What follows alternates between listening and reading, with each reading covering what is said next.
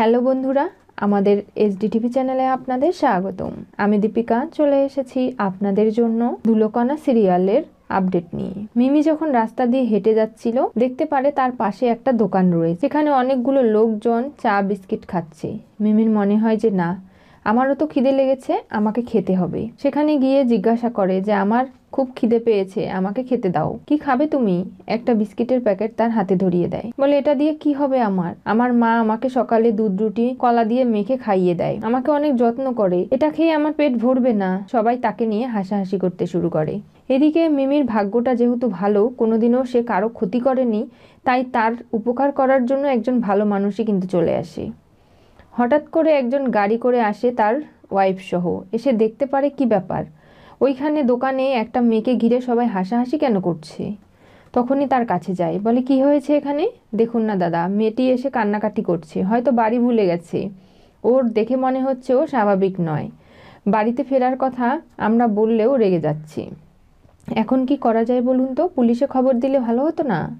ঠিক আছে, আপনারা আপনাদের খাবার খান, আমি ওর সাথে কথা বলছি। আমি মেয়েটিকে আমার বাড়িতে নিয়ে যাব, আর পুলিশেও আমি খবর দেব। আপনারা নিশ্চয়ই আমাকে চেনেন। আমি এই পাড়াতেই থাকি। যদি কোনো প্রয়োজন হয়, আপনারা অবশ্যই আমার সাথে যোগাযোগ করবেন, আমিও আপনাদের সাথে কথা বলব। কি হয়েছে কি, মা? তুমি কি খাবে বলো তো? তুমি আমাদের সাথে আমাদের বাড়িতে যাবে? হ্যাঁ যাব তো। তোমার মা বাবার কথা একটুও মনে পড়ছে না? না। তোমার বাড়ি কোথায়? তুমি সেটা জানো? আমি জানি না কোনো ঠিকানা। তাহলে কি হবে বলো তো? তোমরা এত কথা কেন জিজ্ঞাসা করছ? ঠিক আছে, আমি জিজ্ঞাসা করব না। তুমি আমাদের বাড়িতে চলো, এখন তো দুপুর হতে চলল। এখন তো তুমি যদি এখন সকালের খাবার খেতে চাও, তাহলে কি হবে? আমি তোমাকে মাংস ভাত খাওয়াবো। খাবে তুমি? পছন্দ করো? হ্যাঁ। আমার মা আমাকে ভালোই বাসে না। আমি চলে এসেছি বাড়ি থেকে, আর কখনো ওই বাড়িতে ফিরে যাব না। এ সমস্ত কি কথা? আমি বড় হয়ে গেছি, জানো তো? আমি স্কুলে ভর্তি হয়েছিলাম, লেখাপড়া করছিলাম। আমার একটু একটু মাস্টারমশাই, সে আমাকে স্কুলে ভর্তি করিয়ে দিয়েছিল। আমি আর স্কুলে পড়াশোনা করব না। কেন, কি হয়েছে কি? এসব কথা বলতে নেই। তোমার নামটা কি বলো তো? আমার নাম মিমি। এই তো নাম বলে দিয়েছ। দেখবে বাড়ির ঠিকানা, আস্তে আস্তে সব কিছু তোমার মনে পড়ে যাবে। লোকগুলো হাসাহাসি করলে তখনই বিস্কিটের প্যাকেটটা মিমি ফেরত দিয়ে দেয়। বলে, একদম মেরে না, এখানে সবগুলোকে সিদে বানিয়ে রেখে দেব। একদম ধাম ধাম করে ঘুষি মারবো। আমাকে দেখে হাসা হচ্ছে? ছাগলের দল? আমি কি পাগল নাকি?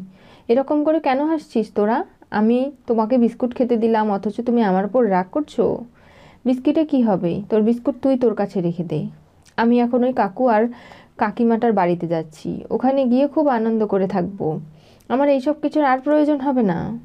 মিমিমা রাগ করে না। এখন চলো তো তুমি আমাদের সাথে।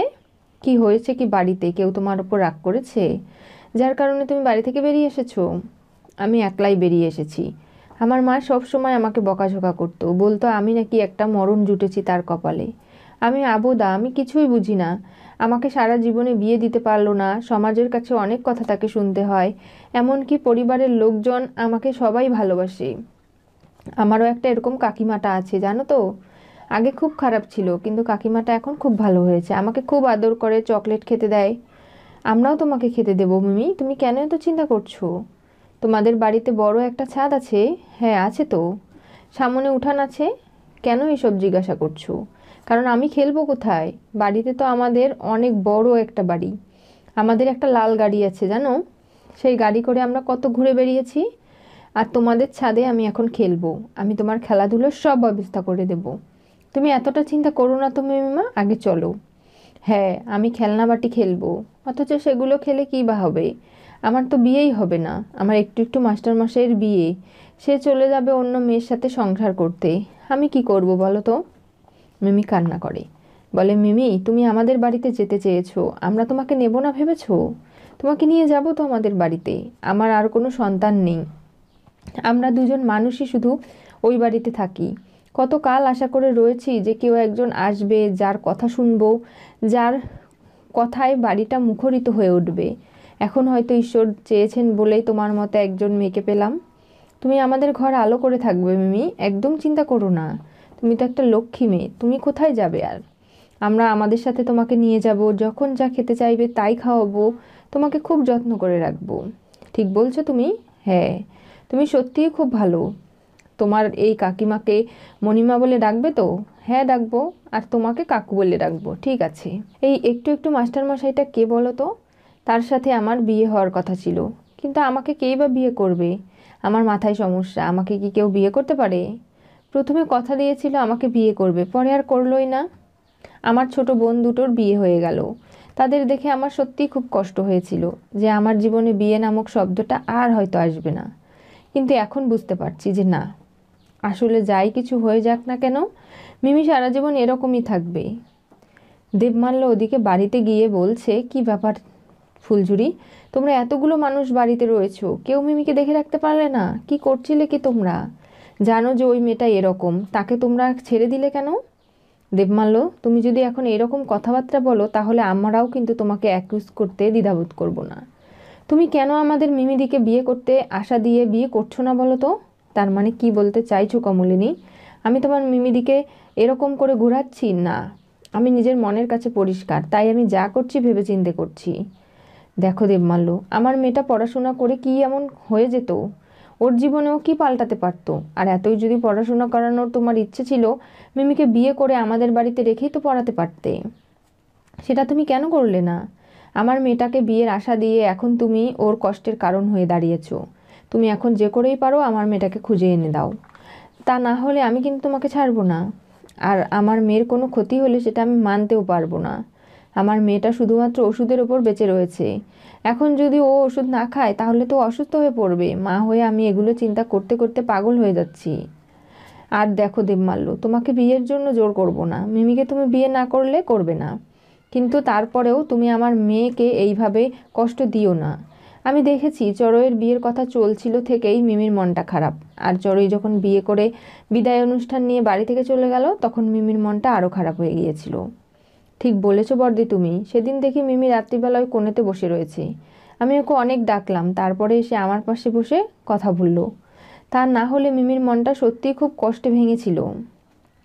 দেখো দেবমাল্য, তুমি যা কিছু করেছ, অন্যায় করেছ। আমাদের মেয়েটা এরকম কপ্পুরের মতো উড়ে গেল, সেটা আমরা মানতে পারছি না। দেখো গিয়ে আবার কোনো রেল লাইনের ধারে কাটা পড়েছে কি না ও তো কোনো কিছুই বোঝে না।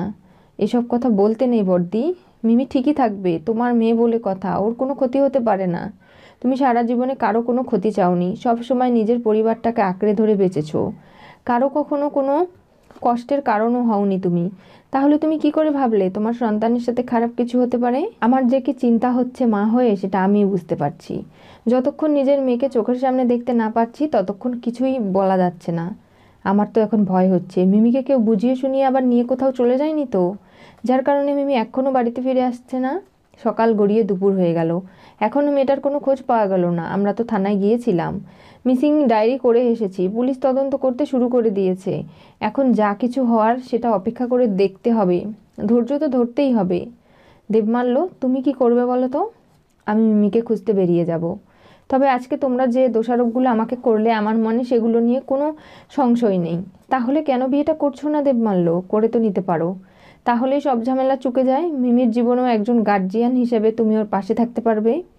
তুমি মেয়েটাকে এমনভাবে জড়িয়ে নিয়েছো আষ্টেপৃষ্টে যে তো তোমাকে ছাড়া কিছুই বোঝে না। আমরা যে অন্য ছেলের সাথে ওর বিয়ে দেবো, ও তো সেটাও করবে না। মিমি রাস্তায় দাঁড়িয়ে বলে, আমি খুব ভালো গান গাইতে জানি। আমি তোমাদের একটা গান শোনাবো? না। এখন এখানে রাস্তায় গান শুনব না। তুমি বাড়িতে চলো, মনোযোগ দিয়ে তোমার গান শুনব, সব কথা শুনব। তোমাকে খেলায় আমরা সাহায্যও করব। তুমি দেখে নিও। তোমরা খুব ভালো, জানো তো? আমার বাড়ির মানুষগুলোও খুব ভালো, কিন্তু ওদের ছেড়ে এসেছি আমার কষ্ট হচ্ছে না গো। আমি আর আমার মা বাবার কাছে কখনো ফিরে যাব না। ওরা আমাকে কষ্ট দিয়েছে, ওদের কষ্ট পাওয়ার দরকার রয়েছে। আমি কখনো যেতে চাই না ওদের জীবনে ফিরে, এরকম বলতে আছে? তোমার মা বাবা হয়তো তুমি হারিয়েছো ভেবে কতটাই না খোঁজ খবর করছে, কতটা চিন্তা টেনশনে রয়েছে, সেগুলো একবার তো তোমাকে ভেবে দেখতে হবে। না, আমি ভাববো না। আমিও খুব কষ্ট পেয়েছি, আমি বাড়ি থেকে বেরিয়ে এসেছি কাউকে না বলে কি হতে চলেছে ধুলোকণা সিরিয়ালের পরবর্তী টুইস্টে? মিমি নতুন মা বাবার কাছে আশ্রয় পেল। আজকে রাস্তায় বেরিয়ে মিমি বুঝতে পারল যে আসলে ভালো মানুষের সাথে ভালো কিছুই ঘটে। মিমি যে কখনো কারও ক্ষতির কারণ হয়নি, তাই মিমি কিন্তু ভালো মানুষের কাছে গিয়ে আশ্রয় পেল। তারা মিমিকে গাড়ি করে এবার বাড়ি নিয়ে যাচ্ছে। সেখানে তার যত্ন করবে মায়ের মতো, তাকে খাওয়াবে ভালো মন্দ এবং তার সাথে ভালো আচরণও করছে। এরকম করতে করতে তাদের যে সন্তান নেই, তারা তো মিমির প্রতি আকৃষ্ট হয়ে উঠবে। এবং মিমিকে যখন বাড়ি ফিরতে হবে, তখন তাদের কষ্টের সীমা থাকবে না। কি করে তখন তারা সামলাবে নিজেদের? তাদের সন্তান নেই বলে মিমিকে এতটা ভালোবেসেছে, যা বলার বাইরে। তাহলে মিমি এবং তার নতুন মা বাবার পরিচয়ে এবার তাদের বাড়িতে চলে গেল। এরপরে মিমির জীবনে কি ঘটবে? দেবমাল্য অস্থির হয়ে উঠেছে মিমিকে খুঁজে বের করার জন্য। বাড়ির লোকজন পাড়া প্রতিবেশীর বাড়িতে জিজ্ঞাসা করেছে, অলিগলিতে খোঁজ করেছে, কোথাও পায়নি। এখন পুলিশের ইনভেস্টিগেশন ছাড়া আর কোনো মিমিকে খুঁজে বের করার উপায় নেই। তাই থানায় অভিযোগও তারা করেছে। এমনকি নিজেরাও খোঁজ করে যখন পায়নি, এবার পুলিশের ওপর ভরসা না হারিয়ে তারা মিমির জন্যই অপেক্ষা করছে। এরপরে কি ঘটবে? জানতে হলে চোখ রাখতে হবে। আমাদের চ্যানেলে পাশে থাকা বেল আইকনটি অবশ্যই করে ক্লিক করুন।